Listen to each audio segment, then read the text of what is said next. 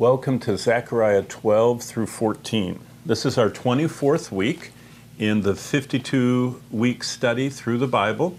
You can see right here, week 24, and there's our text, Zechariah 12 to 14. Now, if you look at that slide, it's kind of, you know, in your face. It's one of those uh, dramatic pictures, but it hardly captures what we're looking at. We're looking at the most prophesied event in the Bible, and we're looking at the most utterly futile, um, almost mindless behavior of humanity.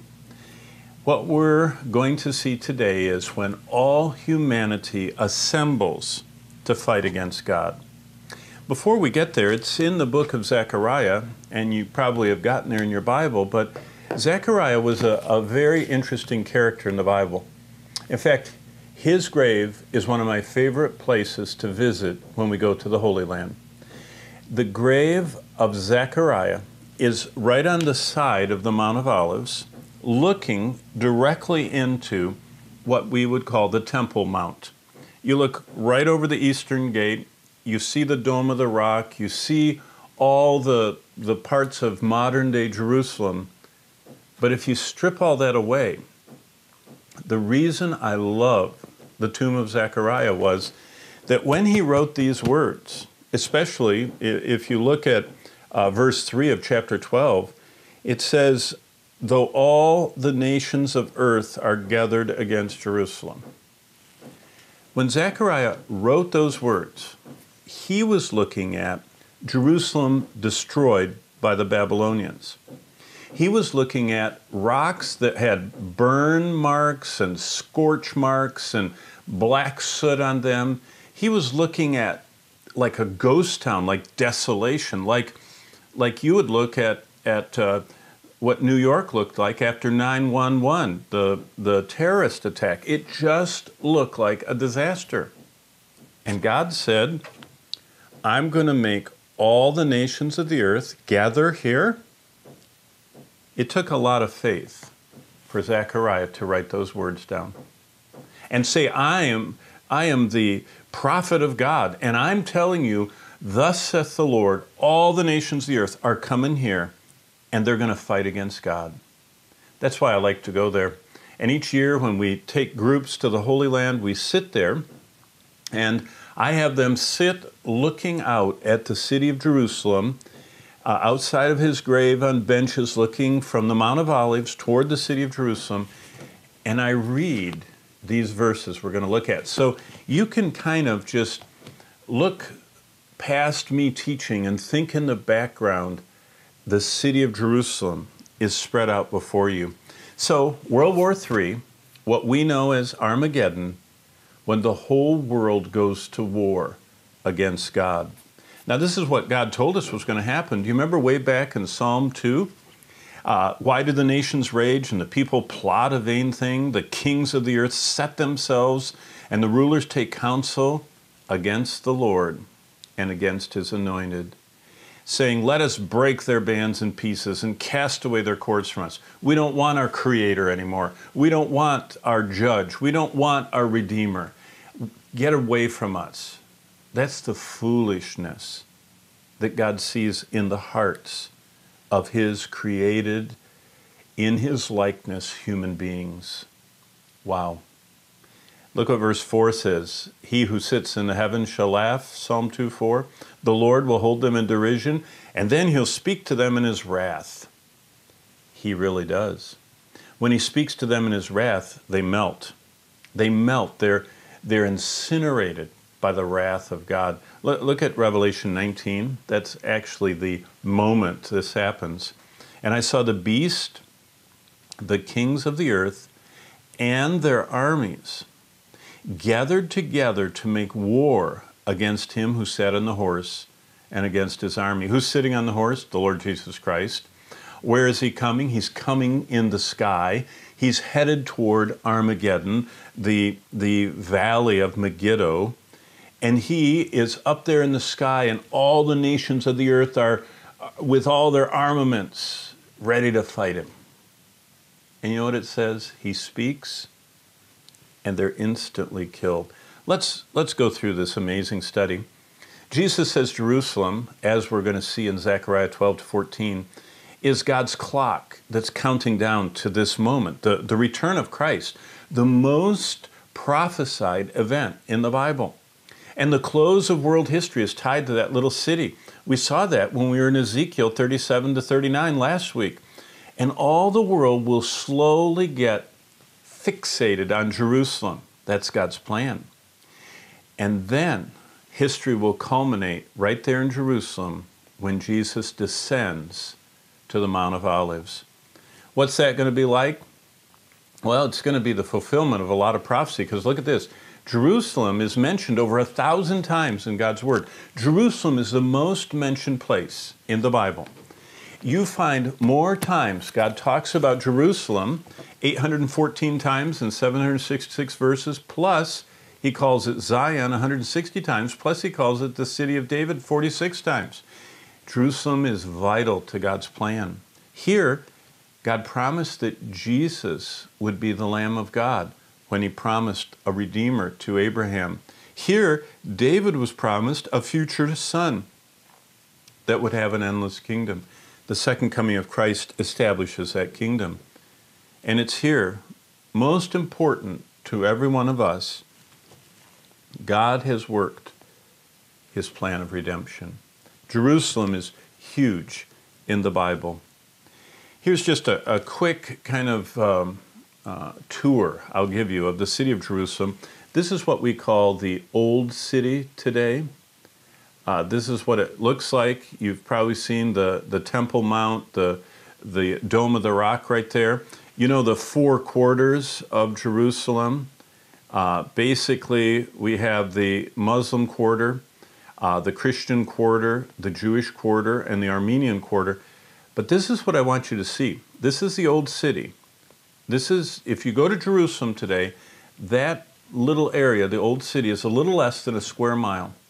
And it's packed full of little alleys and souks and all kinds of incredible places that I personally could just wander around the old city of Jerusalem endlessly with my Bible.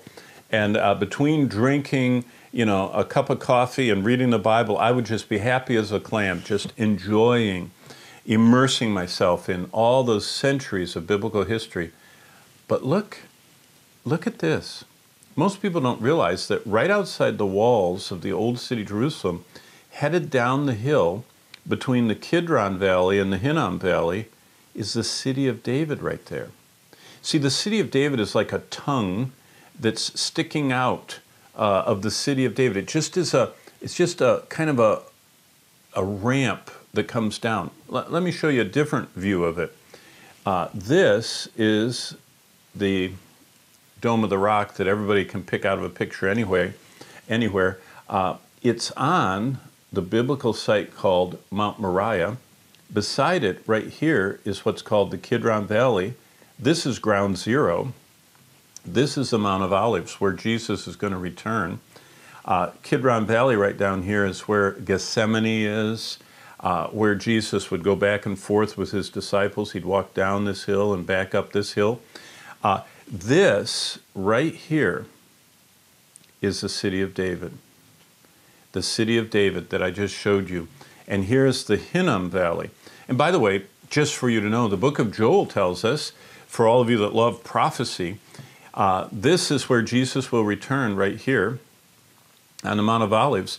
This is the Hinnom Valley, and where the Hinnom Valley meets the Kidron Valley. So, see, the Kidron Valley comes right around, and right here they meet, right here is called the Valley of Jehoshaphat. And you know what Joel said?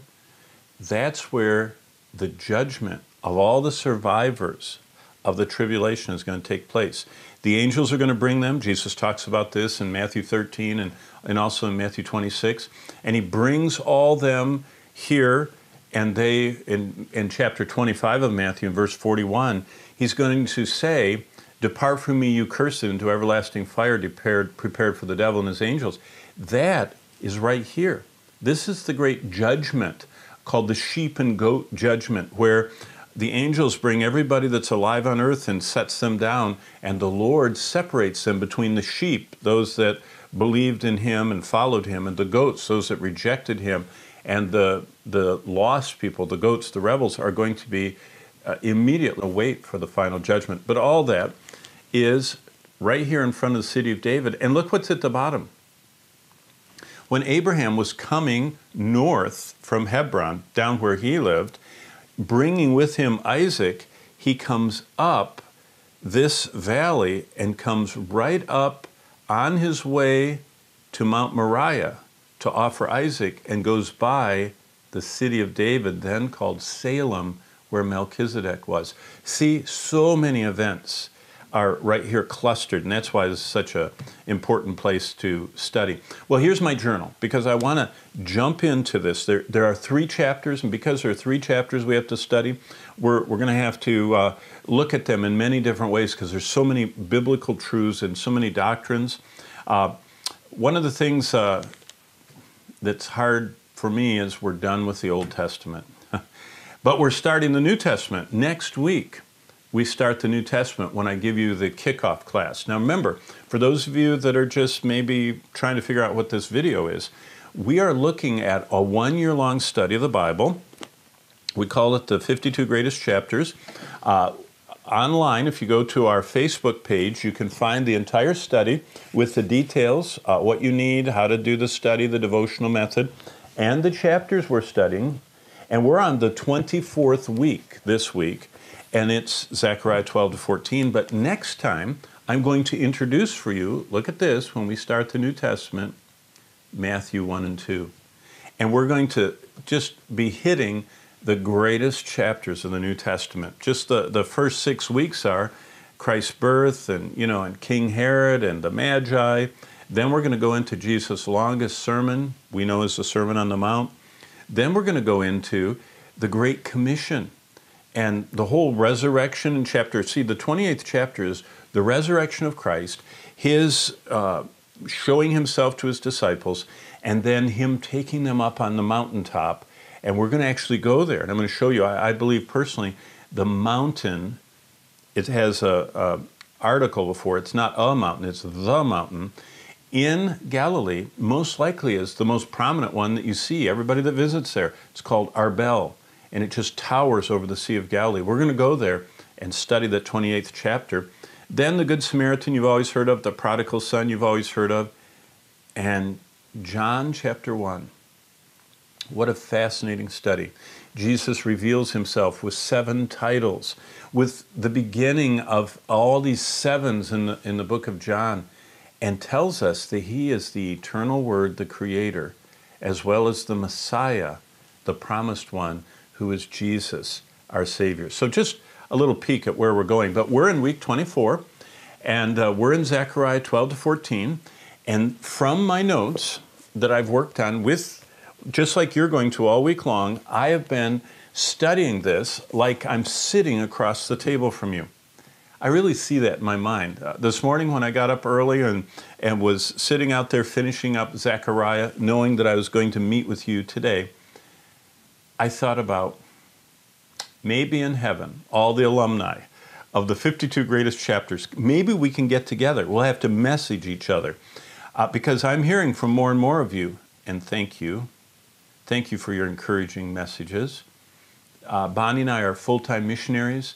Uh, we travel on the road. We're staying right now in missionary housing, driving a missionary car, working in a missionary studio, teaching virtual classes to the next generation, to young people all over the world.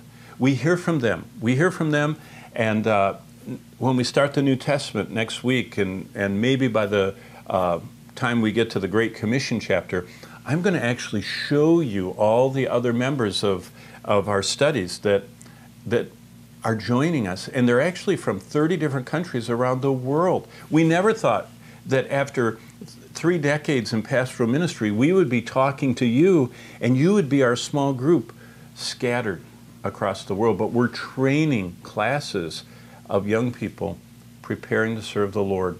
And I hope that's what you want to do. Well, the title in our journal, we always write, you know, the, the week we're on, the chapter we're studying, then our title. And you're going to see I have many different titles.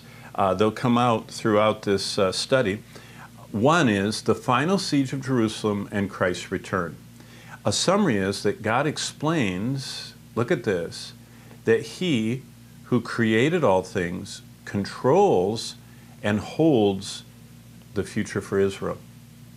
So the God who created the universe says, I'm watching out for Israel and they'll never cease to be a nation.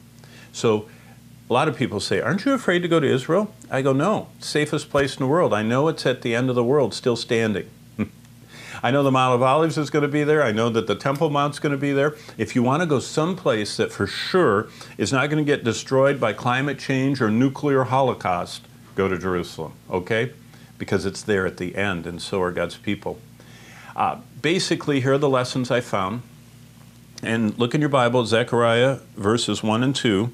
And I found that God stretched out the heavens, Greek word in the Septuagint, the translation of the Hebrew Old Testament is cosmos, lays the foundations of earth, the geos, and he's the one who forms the spirit of breath in man. That's the Greek word pneumos. Wow, what an introduction. That's who we're studying about. That's who's returning. That's our God. And we worship Him, God the Father, God the Son, and God the Holy Spirit. In verses 2 to 6, God made Jerusalem, look at this, the center of world history. And I'm actually going to show you these markings. I took pictures so, so you could actually see how important all this wording is. And I'll, I'll show it to you, but this is just my summary. God made Jerusalem the center of world history. Then God introduces his son to us. And by the way, when we get to chapter 13, the people of Israel are still in Jerusalem at the end when God does a cleansing of the land. In other words, no amount of Iranian uh, warnings and Palestinian uprisings and United Nations decrees are going to change the fact that Jerusalem is forever the place that God has placed His name and said, This is my city, these are my people, and I'm going to make them a very heavy stone, verse 3 of chapter 12, for the whole world. Israel was in the news today again. There was uh, uh, one of their military plants where they developed things was testing something, and kind of like Elon Musk, SpaceX, you know, rockets, one of them blew up. And Iran went ecstatic. They said Israel had a failure. And Israel said, hey, we're, we're testing some of the most advanced weapons in the world, and if one blows up, we're learning from it. But you know, why would we even hear about that? Because the eyes of the world, because Jerusalem and the people of God and the nation of Israel are a very heavy burden for the world. Then, sadly, Zechariah 13, 7, 9 tells us two thirds of all the Jews alive on earth, now, right now, there are about 10 or 15 million. Two thirds of them, if this happened today, two thirds would die in this final Holocaust, where the Antichrist, Satan, and all the forces of the world are closing in on Jerusalem, and they're coming closer and closer and closer, and they're starting to slaughter and, and just decimate the population of the Jewish people in Jerusalem. And when they get down to only one third left, they're hitting what God calls and what the book of Romans, chapter 9, 10, 11, calls the remnant. Those are the believing ones. Among them will be the 144,000 that we've already heard about um, many times, and we're going to study in a few months when we're in Revelation. But this remnant is, is there in Jerusalem. The 144,000 is sharing the gospel. And all of a sudden, those people say, There's no help, the ones who have not yet believed, but in you. And they look up and they say, Messiah, Savior, Jesus. And in that moment, he comes through the clouds. That's the second coming of Christ, but we'll see that. Uh, Zechariah 14.1 is the day of the Lord, which is uh, very much described in the book of Joel. It's also the tribulation period, 6 to 19 in Revelation, and it's uh, culminated by the second coming of Christ. The next lesson I found is verse 2 of chapter 14. Armageddon isn't just at the valley of Megiddo, it involves all the nations of the earth, it says in verse 2. It says Jesus touches down on the Mount of Olives, so that's ground zero. And that's why going to the Holy Land, I love it. The Mount of Olives is where Jesus ascended back to heaven. The Mount of Olives is where he descends and rescues his chosen people and begins to reign on earth. The Mount of Olives is where he prayed for us. His, his prayer in, in what we call Gethsemane was right there on the side of the Mount of Olives. That's where his disciples came and were looking up and saw him ascend into heaven. I mean, it's ground zero for so much of redemptive history. Zechariah 14, 5 to 7 says, The saints enraptured come with him, as Jude says, that Enoch prophesied in the first eschatology of the scripture. What do I mean by that? Well, let me read to you what it says in the book of Jude, if you want to turn there. That's the little book that's just before Revelation. Here we go, Jude, and it says this uh, And lo, just a second, I have to find it. Uh, verse 14. Jude only has one chapter, so Jude 1, verse 14. Now Enoch, the seventh from Adam, prophesied about these men, saying, Behold, the Lord comes with ten thousands of his saints to execute judgment on all and convict all of their ungodly uh, behavior and their ungodly deeds which they have committed in an ungodly way, and the harsh things which ungodly sinners have spoken against him. Did you catch that? The second coming of Christ is the Lord coming with myriads, look at this, of saints. That's all the raptured church and all the saints of all the ages are coming with Christ at his return. Wow. Verses 8 on is the millennial changes, and we're going to see as we study uh, through these verses today that the earth starts changing. When Jesus touches down on the Mount of Olives, everything starts changing. Uh, there starts to be healing and a transformation. All of the pollution is going to go away. All of the curse is going to be abated and, and pulled back. Not, not fully removed, but pulled back and no longer affecting earth. That means poisonous animals, poisonous, uh, venomous uh, spiders and snakes, uh, carnivorous, you know, the, the attacking beasts aren't going to be that way anymore, and thorns and thistles and all of that. The earth is going to become like the Garden of Eden again fruitful, lush paradise. No more climate change, climate fixing. And Jesus rolls back the effects of humanity's mismanagement of the earth and of the curse and the millennial changes take place. Look at this the total annihilation of God's enemies. Did you catch that there are no unbelievers that enter the millennium? Believing humans populate the earth after Christ's return and live for a thousand years with no sickness, with no predators, with no wars. There are no jails, there are no murderers. It says that Christ is ruling, and if anybody is doing anything out of place, they die. That's the way to rule. Just keep everything just and, and safe, and that's his rule in justice, in holiness, in love. And he gives everybody just perfect health and perfect weather and environment and everything. And look at this. This is fascinating. We're going to see this in a minute. They go back to the Old Testament feast three times a year. Everybody comes. And I'll show you something funny about that.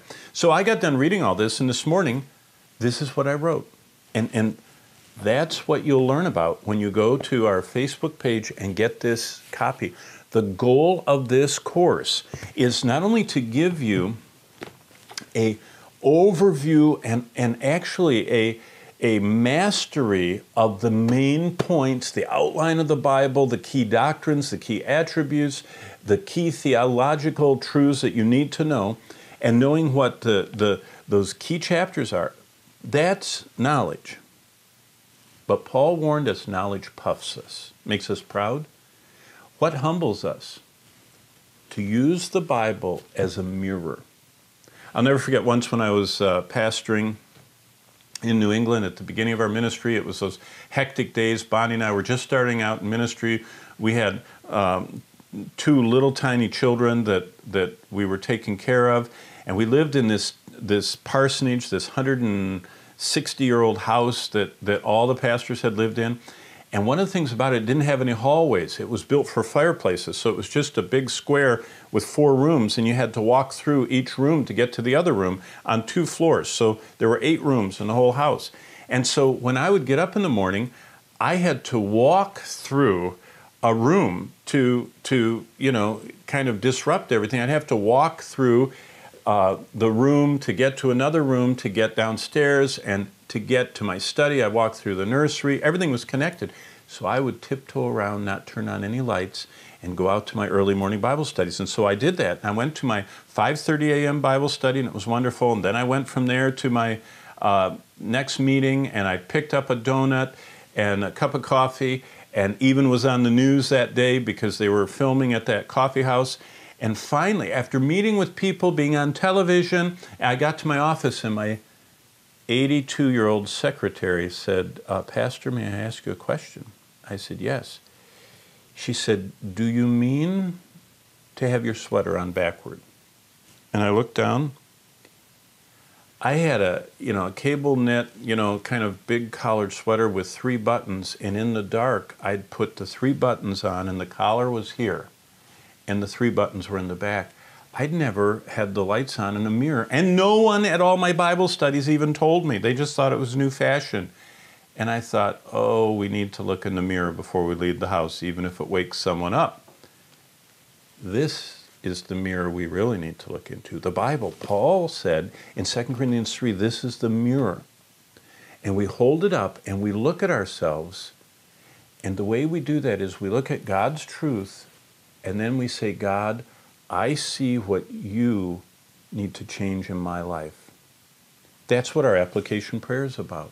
So on the screen, after reading all this 12 through 14, these three chapters, I said, Lord, now, this is an example. This is actually the prayer I prayed this morning, and this is how I would like you to start patterning your time in the Word, mining for, for lessons and truths that you can see God use in your life, and then asking Him to do this like this Lord, thanks for inspiring Zechariah to look across the ruins of Jerusalem and proclaim your plan. I know it must have been hard when everything you told him to say looked impossible.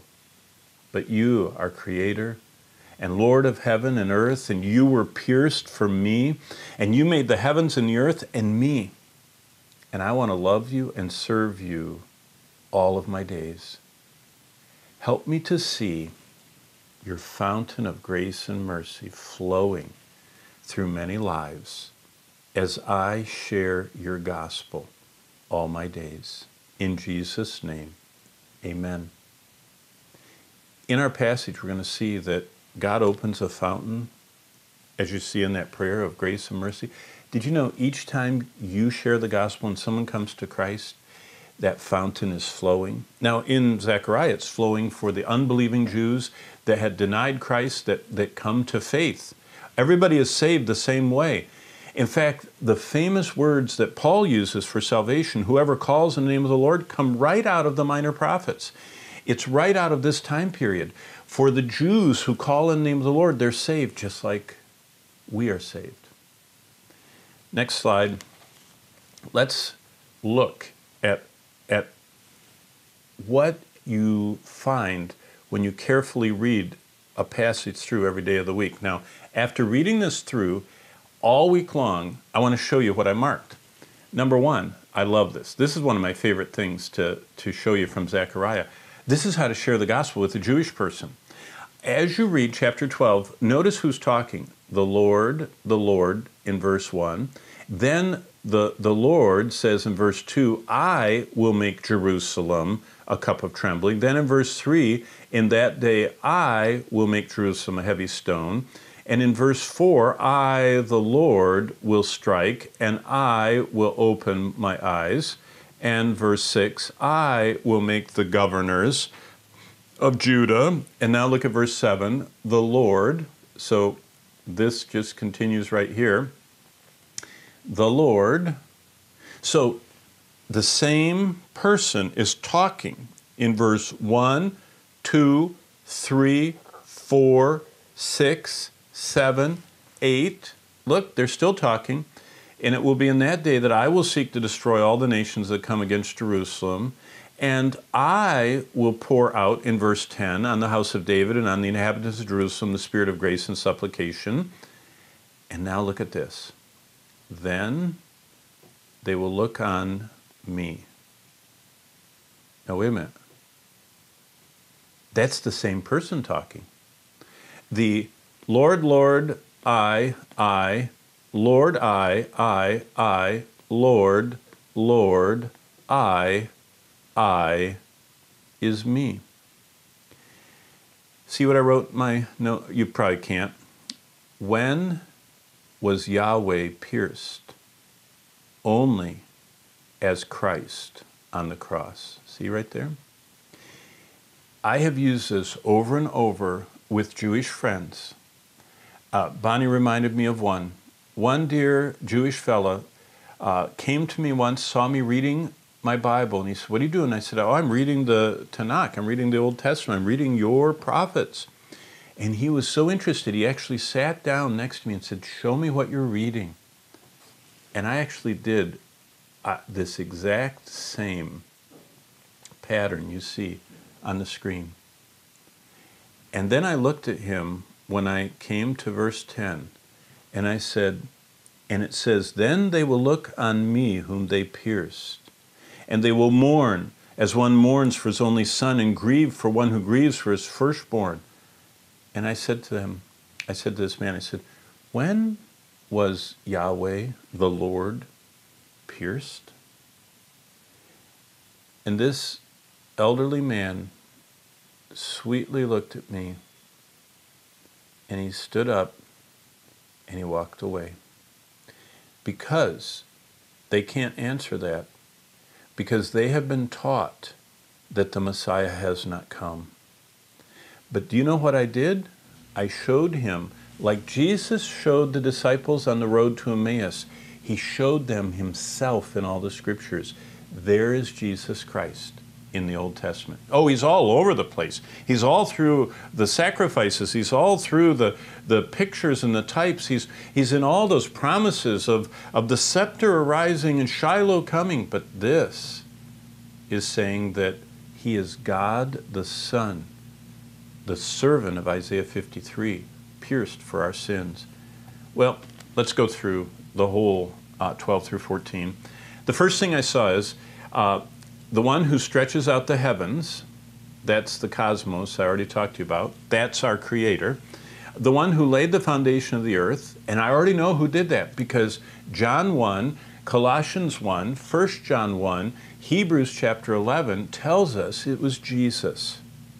He's the creator, and he's the one that breathed the, the spirit of life into man. And he is the Lord the judge.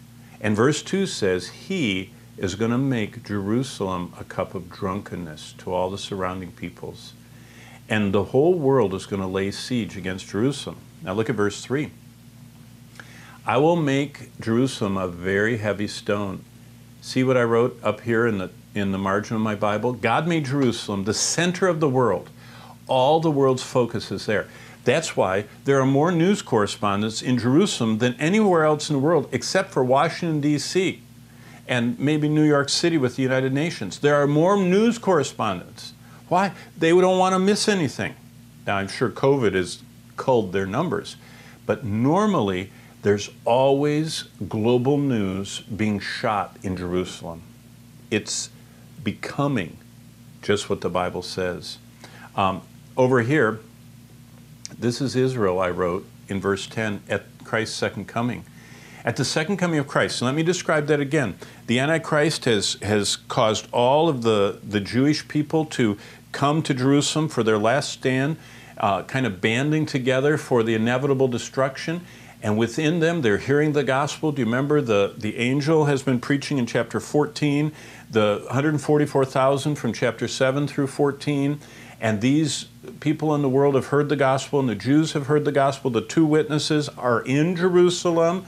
until the midpoint of the, of the tribulation when they die and are, are taken back to heaven, killed by the Antichrist. So the Jewish people have heard the gospel. And now comes the moment of truth. Death is staring them in the face. And the Lord, look at this, pours out on the house of David and on the inhabitants of Jerusalem the Spirit of grace. You say, how come they get such special treatment? They don't. Did you know in 1962 God poured out on me the Spirit of grace and, and supplication? All of a sudden, I began to be convicted of my sins. I began to fear for my soul. I began to know God was a holy God and that I had sinned in His sight. And I remember asking my mom, What, what should I do? And she says, You need to call on the name of the Lord. You need to ask Him to save you. How did I come to that point of wanting to be saved? He poured out His spirit of conviction, His gracious work in my heart. See, God is the one that, that stirs our heart. And that's why, if you want to share the gospel, pray for people that the Lord will convict them, that He'll stir their heart. Share the gospel with them. Share, like, like you see here. You can see my Bible there, all this uh, um, chain linked little uh, gospel for Jewish people that I already showed you. But share the gospel with them, share the word of God with them, but pray for the spirit of grace and supplication. Next, in uh, chapter 13, the city and peoples are still there. That's why I said if, if you want to go to the safest place on earth, go to Jerusalem. Because in that day a fountain shall be opened for the house of David and for the inhabitants of Jerusalem for sin and uncleanness. Wow. God is going to preserve that city and those people till the end. And so, um, just one thing I wanted to show you here that's two thirds uh, of all the Jews in this climactic moment at the second coming of Christ are going to be cut off. But the Lord says, I'll bring one third through the fire. And if you want to remember, uh, Romans 9 through 11 talks about the remnant, and Paul explains that, that huge doctrine. Now look at chapter 14, because this introduces us to the big, big uh, doctrine, the most prophesied doctrine of all, the, the second coming of Christ. Do you know what it's called? The day of the Lord. This is chapter 14 of Zechariah. Behold, the day of the Lord is coming. I will gather, look at this. It doesn't happen. It's not, it just happens. This is orchestrated by God. I will gather all the nations to battle against Jerusalem. And the city will be taken, the houses rifled, the women ravished, and half the city will go into captivity, and the remnant of the people will not be cut off from the city. See, God has his, his remnant that he's protecting. Now, if you want to, something interesting, in Ezekiel, let me, Ezekiel 8, sometime, you can track down this incredible message from God when the Babylonians were coming to take Jerusalem. Before the Babylonians got there, Ezekiel sees an angel, and the angel comes and puts a mark on the forehead of everyone that Ezekiel says mourns over sin and longs for God. What is that? Believers people. That's the mark of a Christian. We hate sin and we love Christ. We hate sin and we want to be like Christ, and we love God's righteousness and holiness, and we see our sinfulness. God marks all the, the true believers in Jerusalem, and when the Babylonians come, they don't kill those that are marked. That's how the Lord preserved the faithful remnant that carried the scrolls of the scripture into the Babylonian captivity, that read them, that studied them, that were the, the forefathers of Ezra who copied them. Do you remember we studied all that in 119 Psalm? How did Ezra's family survive? God marked them. An angel of the Lord invisibly marked them so they wouldn't be killed. That's what happens here. But you can read that we don't have time to go through every possible doctrine, but look at the rest of it.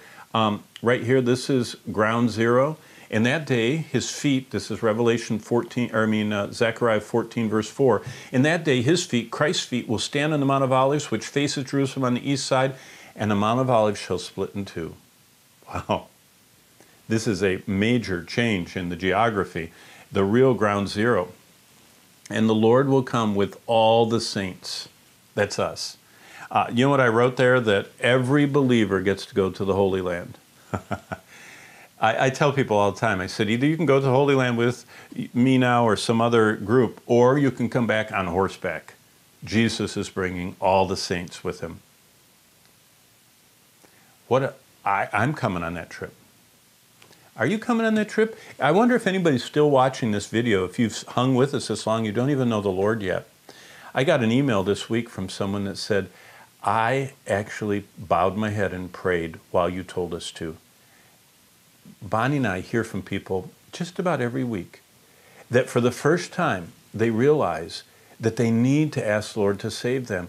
And all of a sudden, this person says, I just, I just was so aware of my sinfulness. I just bowed my head. They actually paused me from talking anymore and they stopped the video and they just said, Lord, I believe, I want Jesus to forgive me of my sins. I want Him to cleanse me. I don't want my sin, I want you. That's calling on the name of the Lord.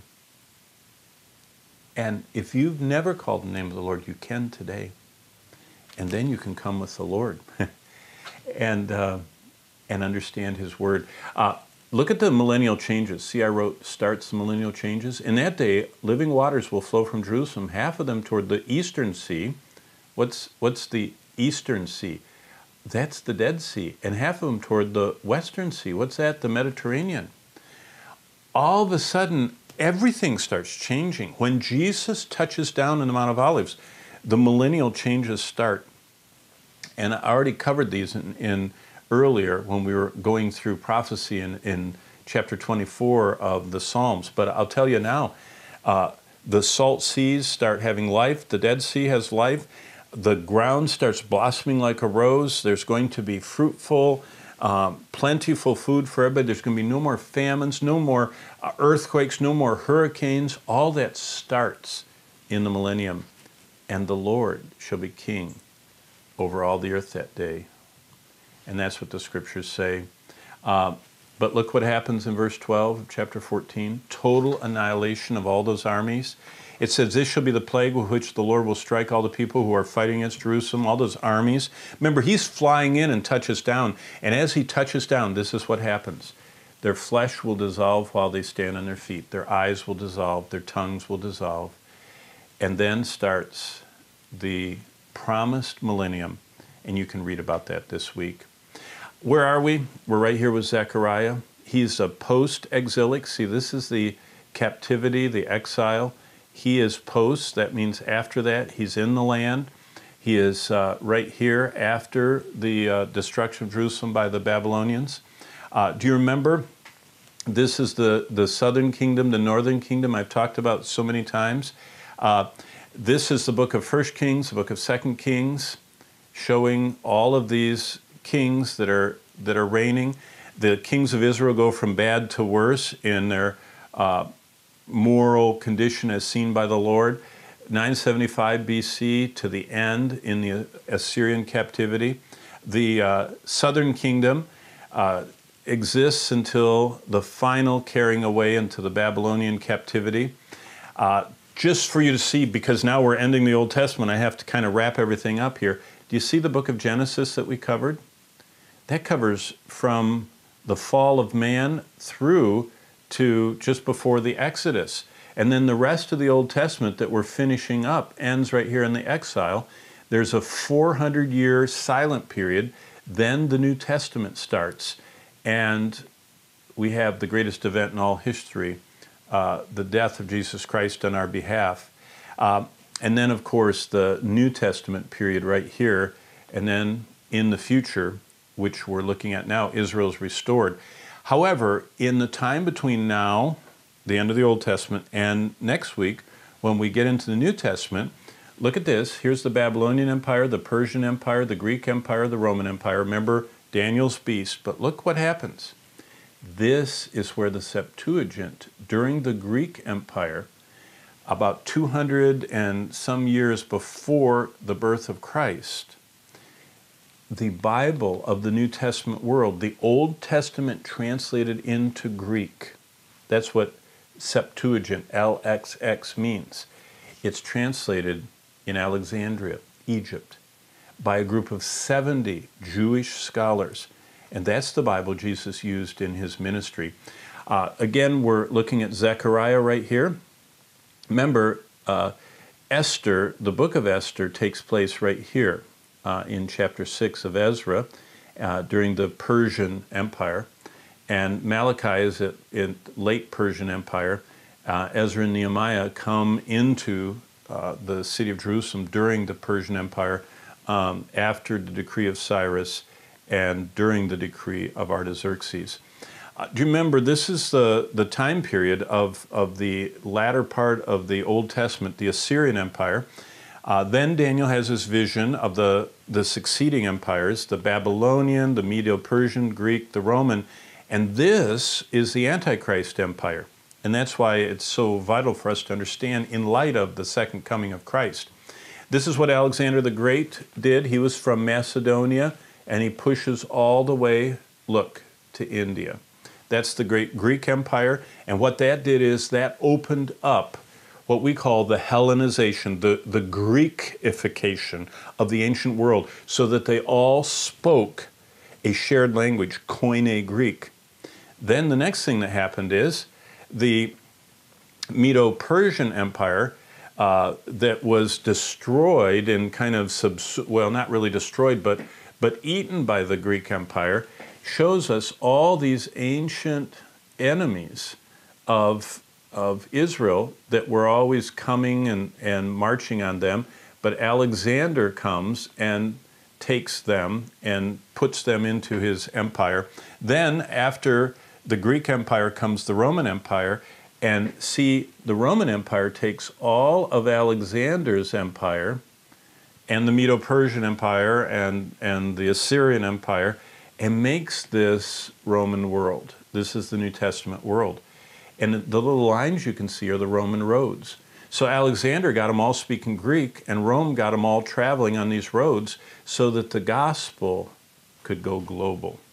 And that takes us to this coming day of the Lord, Zechariah 14. The day of the Lord is used 19 times in the Old Testament. It's called the day of the Lord. It describes the historical judgments and future divine judgments. It's called a day of doom, day of vengeance, day of wrath, when God visits the earth, the great day of God Almighty, and it has terrifying judgments. And that's what we see happening in Zechariah 14.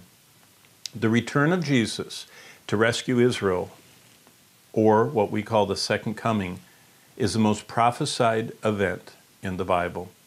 And Jesus affirmed Daniel, who affirmed that, that four part image that talked about the coming of this man of sin.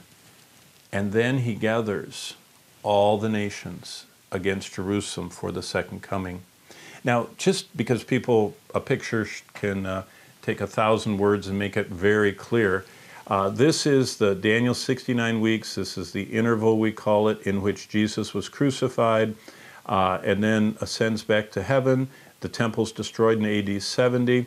Jesus is in heaven. He comes to take us home in the rapture. It kicks off what we call the tribulation. What chapter 12 through 14 is right here the second coming of Christ, to end the rule of the Antichrist and to launch the kingdom of God on earth, which is called the millennium. The Lord goes forth and fights against all the nations, and his feet stand on the Mount of Olives. See, the second coming of Christ is a very, very important doctrine. It's huge in the scriptures. Uh, the second coming is the Antichrist marching toward Megiddo, the kings of the north coming toward Megiddo, the kings of the south coming toward Megiddo, and the kings of the east. They converge, and they're up there kind of getting ready to march on Jerusalem to finish off the last of the Jews when Jesus returns, as Revelation 19 and Zechariah 12. It says this the Lord will strike all the people who are fighting against Jerusalem, all those people coming from all four points of the compass. They dissolve, dissolve, dissolve. and the Mount of Olives splits, and the earth began to be transformed to the living waters and the, the paradise it's going to be. Now, remember, this right here is the event that we just spent all this time talking about. Now, what happens after that, remember Matthew 25 I mentioned, down in the valley of Jehoshaphat, the sheep and goat judgment. Then that millennium starts, God's temple visitor center, the final rebellion. See all these events. Uh, there are so many of them. I'm just going to show you these quickly. Israel's persecuted, Jerusalem's ravaged, they flee, the remnant survives, Jesus delivers, starts his reign on earth. See, look, these are all Zechariah. Look at all these verses. And the topography begins to change. See, there, there are entire courses that are only about what Zechariah prophesies. When you go to seminary, it's look at this. abundant crops, the feasts of, of the Old Testament are reinstituted. All the nations come to Jerusalem. Israel is at peace in the land like God promised. Jesus Christ rules over all the nations and judges them. There's universal peace, it says in Zechariah 9:10. And Jerusalem is the capital of the world. See what I said? The second coming of Christ is the most prophesied event. All of these things are tied to the second coming. Most amazing thing. Well, that's World War III. That's Armageddon. That's when the whole world goes to war against God. So, how do you apply that? Well, let me give you a couple ideas. The Creator returns. He is the one who was pierced, He's our Redeemer, but He's the judge. Since we're in submission to Him, what does He want?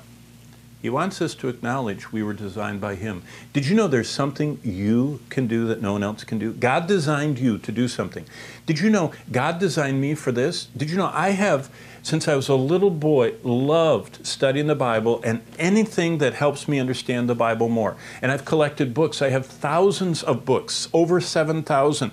I have, my poor wife has, when we got married, do you know what we had in our car as we moved to our very first apartment? One half of our car were my files of all my studies of the Bible, and she put up with all that because that's what I was called to do.